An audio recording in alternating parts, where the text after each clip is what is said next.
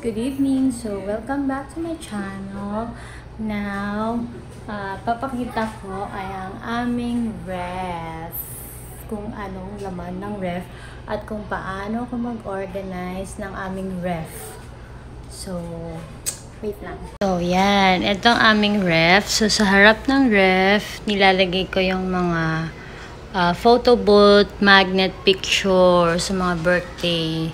So, ito, yan, kay Bettina, kay Bobby, ayan. So, dito naman sa side is yung aming mga ref magnet kung saan nakapag-travel na kami like in Barcelona, Singapore, Hong Kong, Paris, yan. Dito naman yung mga local. So, meron na kaming Boracay, Cebu, uh, Baguio, Subic, yan. So, dito sa baba is ang aming freezer. So, yan. Yung mga, ito yung ice. Ito yung cool pops ni baby. Ice ulit. And then, mga hot dogs, franks. Tapos, yan. Mga pambaon. May speaker. May speaker sa loob. Pinapalamig ni tatay. So, meron kaming mga beef, pang steak, longganisa, ice cream, yung mga chicken, nuggets. Yan, ang laman ng aming freezer. So, dito naman, yan, ang aming ref. So, dito is ang aming mga water. May juice. Ito galing to sa, I think, Landers. Mango, banana juice. Tapos to, syempre, yung mga vitamins.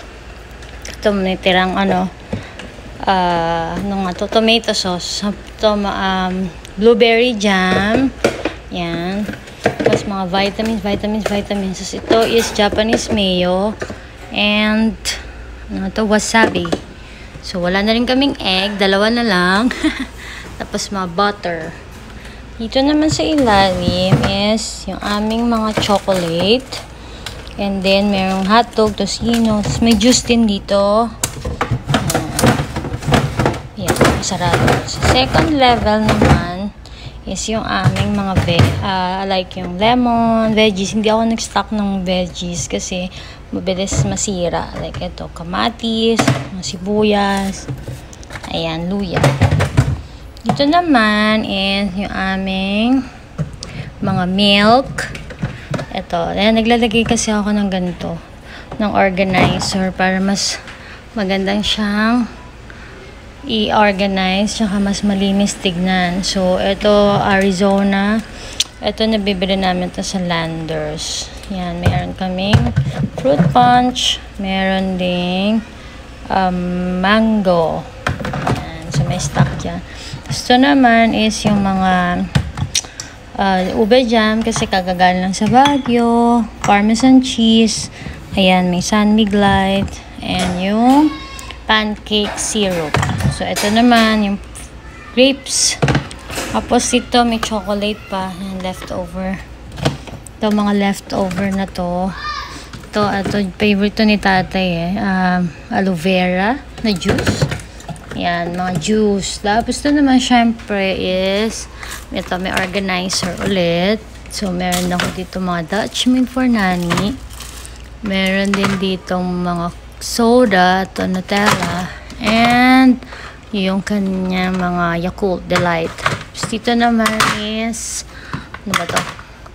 Ayan, may organizer ulit. So, dito yung mga pang mga pickles, bagoong, yan. Tuyo, ayan. So, ayan, nilalagyan ko siya ng organizer para mas madaling kumuha and mas madaling ayusin.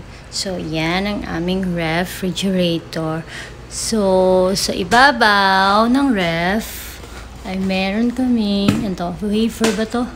Tapos yung mga, ano tawag dito, mag, na, na, na pipili namin pag nagta-travel, like Star Wars, Mickey Mouse, yan, iba bigay, Starbucks. Ayan.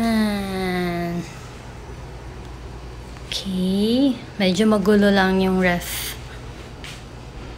So, yan. Nakita nyo na ang aming uh, refrigerator dito sa aming bahay. So, thank you for watching and uh, abangan nyo next video ko. Medyo magulo kasi dito sa kitchen namin. So, kaya ayoko muna ipakita. Okay, bye!